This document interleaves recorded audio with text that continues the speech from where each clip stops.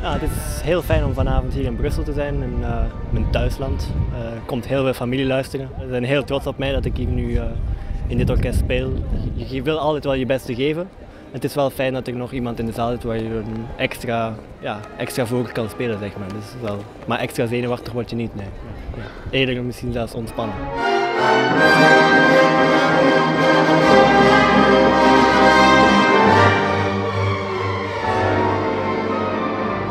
Het is wel een heel leuke partij die ik mag spelen. Uh, Totenverklaring van Strauss. Het is, uh, heb ik lekker veel te spelen. Het gebeurt niet altijd als contrafautist.